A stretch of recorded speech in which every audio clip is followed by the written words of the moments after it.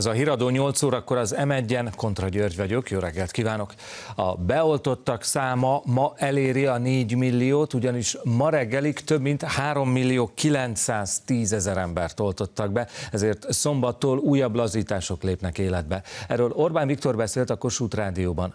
A miniszterelnök elmondta, holnaptól a kiárási tilalom évfélre módosul, illetve hogy az üzletekben már este 11 óráig is lehet majd vásárolni.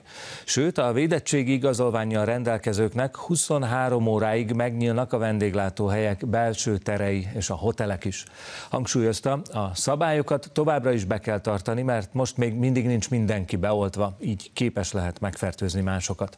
Az esküvőkkel kapcsolatban elmondta, azért csak 5 millió beoltottnál lehet lakodalmakat tartani, mert nem akarják szétválasztani a nász népet, ezért ott majd nem kell védettségi igazolvány. A kormányfő arról is beszélt, hogy májusban kezdődik a 16 és 18 év közöttiek oltása. Pfizer oltóanyagot kapnak, és azt félre fogják tenni. Döntöttünk arról, hogy a 16 és 18 év közöttieket is oldhatjuk, de csak Pfizer vakcinával, mert egyelőre felelősségteljesen csak ezt vállalhatjuk. Az oltás kezdete az az érettségig után lesz, mert az immunreakciók miatt nem szeretnénk, ha bármely érettségiző kisdiáknak nehézségei adódnának és ezért ez május 10-e után indul, de félre kell tennünk a Pfizer vakcinákat, a Pfizer oltóanyagot, a védőoltást az ő számukra. Rendkívüli oltási akció lesz ma. A Sinopharm mellett a Pfizer vakcinára is lehet időpontot foglalni. De mint hallhatták az imént, csak ma van lehetőség Pfizer vakcinára regisztrálni. Holnaptól a vakcinát ugyanis félreteszik a 16-18 év közötti korosztálynak. Azok foglalhatnak időpontot az eest.gov.hu oldalon, akik eddig regisztráltak a koronavírus vakcinára. Már a reggeli órákban lehet jelentkezni, előre láthatóan délelőtt 10 órától már el is kezdenek oltani a Pfizerrel, valamint folytatódik az oltás a kínai vakcinával is. Összesen 101 kórházban oltanak ma, akár este 9-ig. Összesen 100 ezer Pfizer vakcina érkezik az oltópontokra, és az oltási munkacsoport abban bízik, hogy ezeket ma sikerül beadni. A 4 millió beoltott elérése lehetővé teszi, hogy egyes országokkal megállapodjunk állampolgáraink karantén és tesztmentes utazásáról. Erről írt Szijjártó Péter Facebook bejegyzésében. Közölte azt is, hogy megállapodott a szerb és a montenegrói kollégájával, hogy Magyarország és a két balkáni állam kölcsönösen elismeri egymás oltási igazolványait. Így mától a beoltottak szabadon utazhatnak Magyarország és Szerbia, valamint Magyarország és Montenegró között. A kormány már megkezdte az egyeztetéseket Görögországgal és Izraellel is. Újra mehetnek látogatók az idős otthonokba, szociális intézményekbe. Az országos tisztifőorvos visszavonta az egy éve elrendelt látogatási tilalmat, és megszűnik az intézmény elhagyási tilalom is, de főszabályként mindkét intézkedés csak azokra vonatkozik, akiknek van védettségi igazolványuk, tehát megkapták az oltást, vagy igazolható módon átestek a fertőzése. Újra lehetővé válik ezekben az intézményekben a látogatás, azonban természetesen itt is szigorú járványügyi szabályok mentén. Az látogathatja meg az intézményekben lakókat, aki rendelkezik védettségi igazolványjal, illetve ő elviheti magával a 18 éven aluli szemét, tehát a fiatalkorúakat, gyermekeket. Telefonon tárgyalt Orbán Viktor miniszterelnök Xi Jinping kínai elnökkel. A fő téma a járvány elleni védekezésben kialakított együttműködés. Az internetre feltöltött fotóhoz a kormányfő azt írta, elfogadta a kínai elnök meghívását Pekingbe. Szijjártó Péter azt mondta, az elmúlt hónapokban rendkívül hatékony volt a két ország közötti társulás, ami nagyban hozzájárult ahhoz, hogy hazánk átoltottság tekintetében Európa élmezőnyéhez tartozik.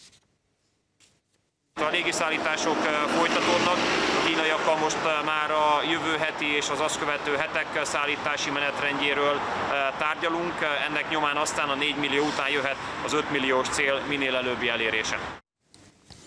Hétfőn kezdődnek az érettségi vizsgák egy különleges tanév végén. November közepe óta nem jártak iskolába az érettségizők, maximum kisebb csoportokban készülhettek a vizsgákra.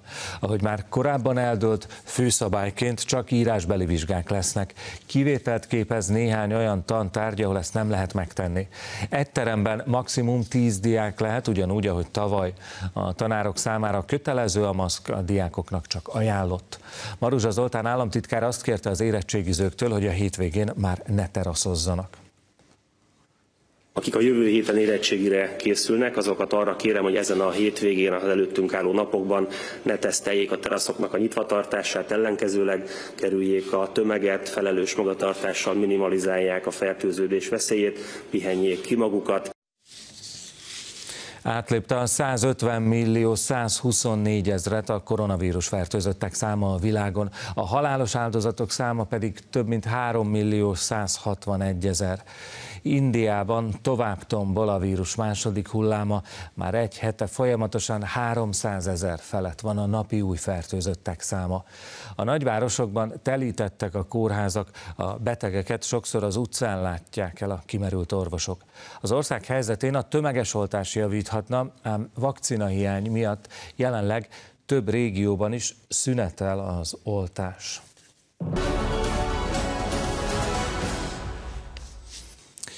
2025-re létrejön az áldozatsegítő központok országos hálózata. Ezek olyan helyek, ahol az erőszak áldozatai menedékre lelhetnek. Erről az igazságügyi miniszter beszélt közösségi oldalára feltöltött videójában. Varga Judit emlékeztetett, az elmúlt évtizedek legeredményesebb családvédelmi és áldozatsegítő programjai indultak el. Tavaly csak nem 15 ezer áldozatnak nyújtottak támogatást, az áldozatsegítő vonal pedig több mint 11 ezer hívás támogatást fogadott. A tárcavezető bejegyzésében azt írta, idézem, a kapcsolati erőszak nem magánügy, van segítség. A segítségnyújtás érdekében stabil jogszabályi környezetet hoztunk létre, szigorítottuk a büntető törvénykönyvet, bevezettük az áldozatok hatékony elérésének rendszerét, megdupláztuk az áldozatsegítő központok számát, és megkezdtük további öt vidéki helyszín kiépítését. Nemzetállami függetlenség vagy a globalista baloldal hatalomra törése, ez a tétje a 2022-es választásoknak. Erről a 21. század intézet elemzője beszélt az m Nagy Ervin hangsúlyozta, ha baloldal kerülne hatalomra, akkor hatalmi harcokra és belviszályokra lehetne számítani. Hozzátette, Európában több példa is igazolja, hogy a nagy koalíciós kormányzás instabilá teszi a kormányok működését. Az elemző elmondta, a gender elmélet, a migráció támogatása és az Európai Egyesült Államok gondolata mind olyan globális baloldali eszme, amit a hazai ellenzéki pártok is képviselnek. Ezért az ellenzék a nemzetközi baloldal támogatásával akarja megnyerni a választásokat. Az ellenzék jelenleg külföldről, kívülről szeretné megnyerni a magyar választásokat. Ez azt jelenti, hogy a nemzetközi baloldalnak a támogató, támogatása, ami lehet közvetett vagy közvetlen, gondolok itt a nemzetközi baloldali médiára, vagy az NGO-kra, különböző alapítványhálózatokra, amelyek beavatkoznak a magyar politikában, mindenképpen be fogják nyújtani a számlát, hogyha a baloldal nyerne. Tehát ezzel is szembe kell nézni, hogy a szuverenitás vagy a függőség lesz a 2022-es választásnak a tétje. Ma van a Magyar Film napja. 120 éve mutatták be az első magyar filmet a Tánc címmel. Ez már egy megrendezett jeleneteket tartalmazó film volt. Ebből az alkalomból a Nemzeti Filmintézet felhívására száznál is több magyar filmet lehet majd megnézni a tévében és online. A közmédia is csatlakozott a kezdeményezéshez. Az m például ismét látható lesz a Körhinta Törőcsik Mari főszereplésével. Az M2 gyerekcsatornán pedig olyan régi kedvencek térnek vissza, mint például például Süsű a sárkány, vagy éppen Mekkelek. Legalább 38-an meghaltak és több mint 100-an megsérültek ma hajnalban egy ünnepségen Izrael északi részén. A hatóságok a tragédiát először egy leszakadt emelvénynek tulajdonították, ám később kiderült, hogy a zsúfoltság és a tolongás okozta a több tucatnyi ember halálát. A sérültek közül sokakat kritikus állapotban szállítottak kórházba. Az áldozatok pontos száma viszont egyelőre nem ismert. A vallási ünnepségen körülbelül százezren vettek részt. Izraelben ez volt a legnagyobb összejövetel a koronavírus járvány kezdete óta.